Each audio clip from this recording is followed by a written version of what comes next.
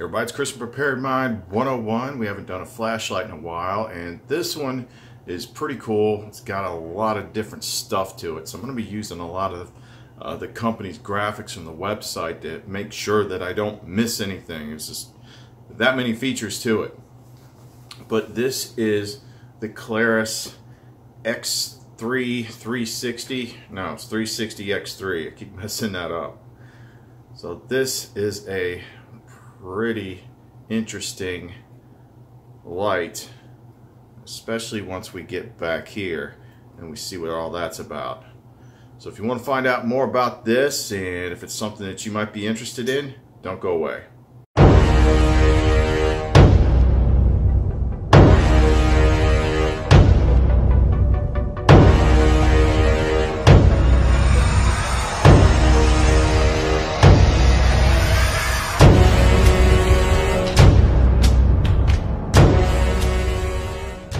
Okay, this is something we in the industry refer to as a do-over. Yeah, if you're filming with your phone, make sure you lock it in landscape mode. Anyway, maybe I could do it faster this time anyway. So let's go through the features of this, and there's a lot of them. I'm going to focus on the key ones. The biggest thing about this light, which is interesting, is the tail cap switch design. So you've got the primary button and then you have the secondary 360 button. Now your primary button on this is going to be the brightest setting every time you press it. And you got momentary and you got forward clicky. The secondary is going to be one of two modes. So right now it is set to tactical strobe. No matter where you push on here, no matter how you're holding it, that's going to hit strobe. Now if you want to switch it to the other mode, you hold down this button and the 360 button at the same time.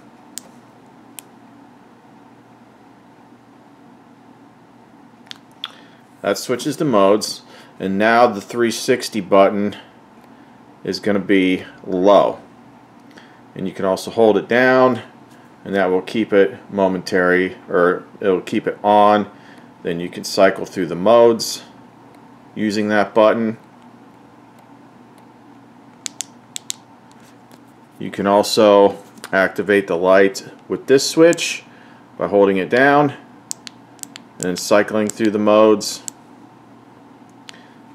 When you turn on when you turn on the first time for a couple seconds this is going to light up and the different colors are going to tell you how much life you have left on the battery. You can double click for, for strobe, double click again for SOS.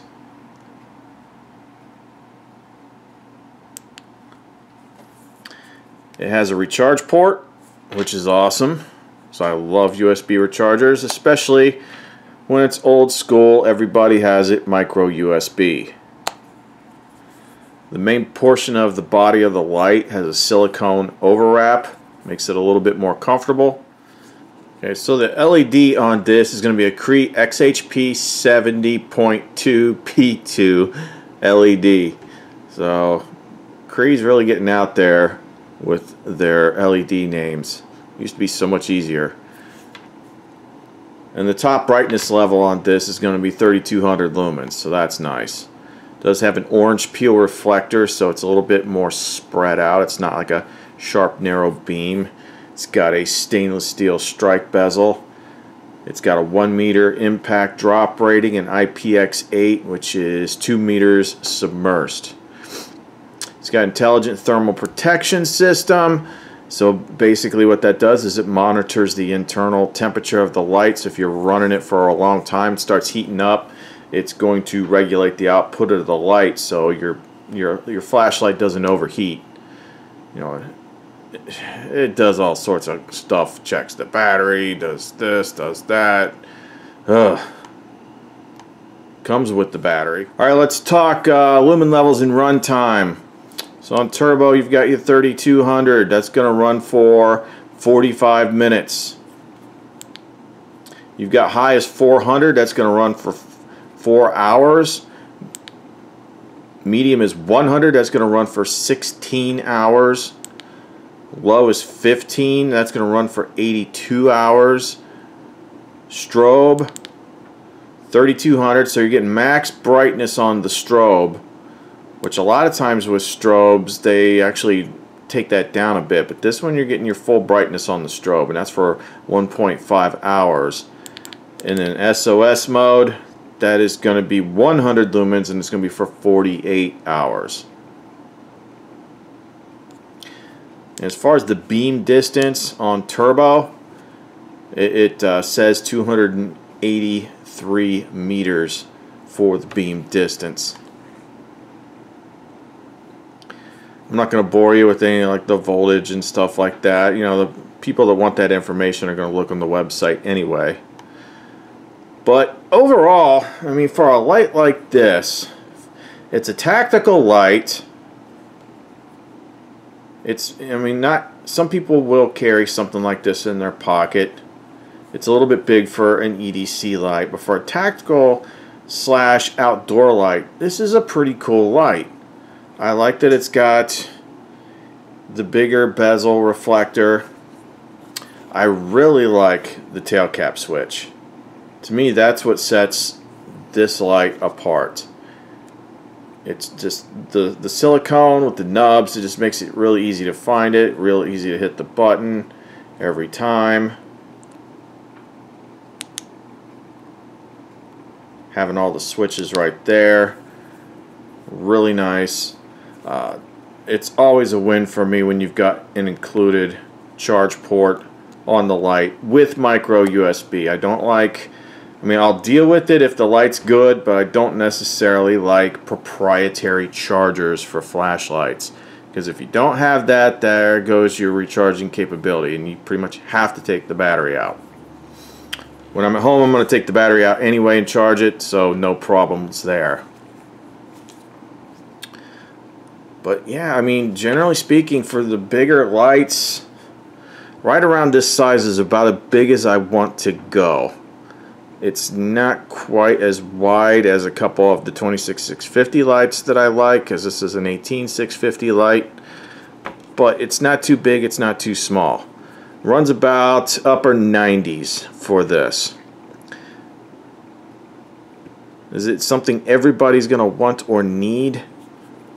No, nothing is. It really depends on what you're looking for, what you want, how much you want to spend, and what you need the light to do. I'm just here to kind of highlight it and tell you about it and see what I think. And I will say, I've liked, how many, I think I've done two other Klaruses before. And I like them both, but this one is by far the best one in my opinion. And the other one, geez, which one was that? I forget the uh, which one it was off top of my head because I don't do well with these lots of numbers for, for names. But it was a nice tactical light, but it also had this proprietary magnetic charger, which was also a flashlight in itself. And that's cool and all, but if it, it's one of those, this is one of those if it ain't broke, don't fix it sort of things. Simple charge port, micro USB, available. Just everyone's got one of those. I mean, even the Apple people have micro USB cables because they've got other devices, and that's you know micro USBs are everywhere. So you're not gonna have any problem charging your lights um, in a pinch. So I've been using this one for about three weeks. I do not do drop tests anymore. It's just intentionally abusing a flashlight, and I just know that if one survives, it doesn't mean everyone ever will survive. And if one breaks, it doesn't mean all of them are going to break. So all I'm really doing is messing up a perfectly good flashlight. You want to get one and throw it against concrete, you go right ahead. Uh, I find that most of these flashlight companies seem to be pretty consistent when it comes to flashlight survivability, drops, and things like that. There's nothing that like stands out as like that one always. Well, you drop it and it's done. No, this is this is a really cool light, and I really hope that they do more lights with that tail cap switch because that thing is great. All right, we're outside. We're going to test out this Klarus. Of course, I've been using it. But when we press the main switch, it's going to go straight to its brightest setting. And right now it's in tactical mode, so the secondary switch is going to take it straight to turbo.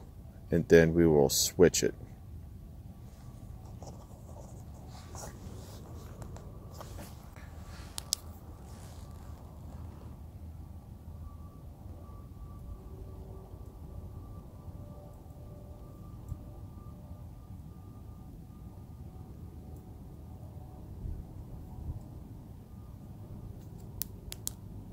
Using the secondary switch.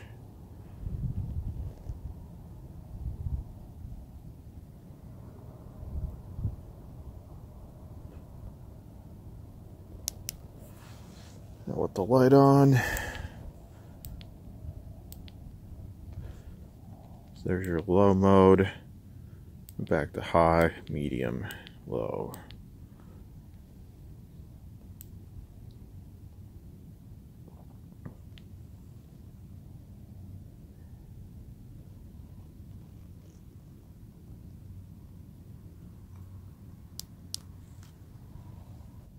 So once you have it switched over to hunting mode, I think it was called, or something like that, outdoor mode, that secondary switch, turn this on so you can see it.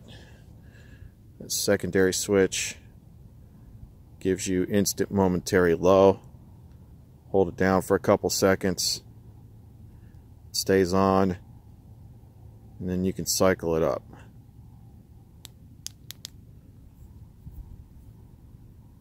Pretty cool light. Really like this tail cap switch. So what it comes down to is, is this something that's going to be good for you personally? And I'm sure a bunch of you are already telling me that it is or isn't. Well, it's a bit, let's break it down. It is larger than your average EDC light. It is very tactical. configuration it comes out of the box with is instant high, instant strobe. So it's good in that regard. And also it is weapon mountable if, if that's something that you're looking for. Uh, I like it. Uh, but like again, not everybody wants or needs a $100 flashlight. So I'm not telling you that you do. But some people have no problem with that, especially when you start getting into bigger lights that do more and are brighter and are well made. So it's kind of up to you. Do I like the light? Yes, I like the light because, no surprise, I generally don't review things that I don't like.